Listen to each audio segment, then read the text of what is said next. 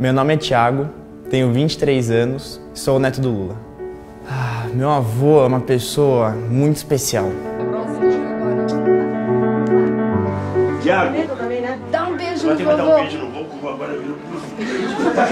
Olha, virou presidente. Você viu na televisão? Então dá um beijo no vô.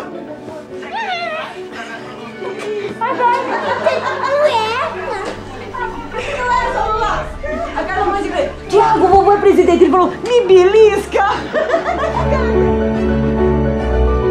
Ele sempre viajou muito, sempre trabalhou muito a vida inteira dele, mas quando ele chegava em casa, a primeira coisa que ele fazia era beijar minha avó, abraçar ela, perguntar como é que foi o dia dela. A família sempre foi uma parte muito importante da vida dele.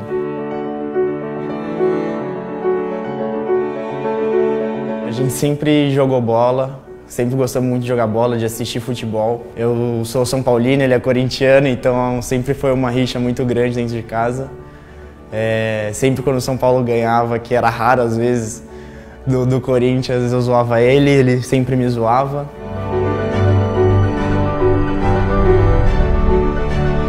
A saudade que eu tenho é dessa, da gente estar aqui fora é, além de, de estar em casa, porque os momentos que eu mais ficava com ele era realmente dentro de casa. Mas eu sinto falta dele na rua.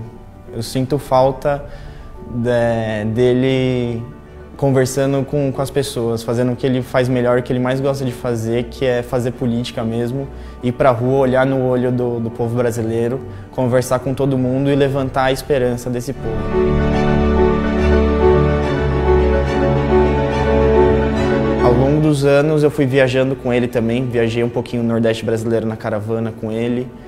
É, e uma coisa que ele me ensinou que, que para mim eu vou levar para a vida inteira, que é a humanidade mesmo, de olhar no olho de outro ser humano, não, não é, discriminar a pessoa, não ter nenhum tipo de preconceito com a pessoa.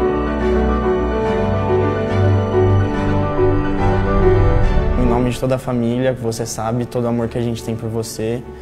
É, é, talvez eu tenha falado alguma bobagem, você tá rindo aí da minha cara, mas eu queria estar aí junto com você pra gente assistir juntinho esse vídeo, eu te dar um abraço no final. E não sei, a gente se vê aí na próxima semana, tomara que aqui fora. É, um beijo e parabéns.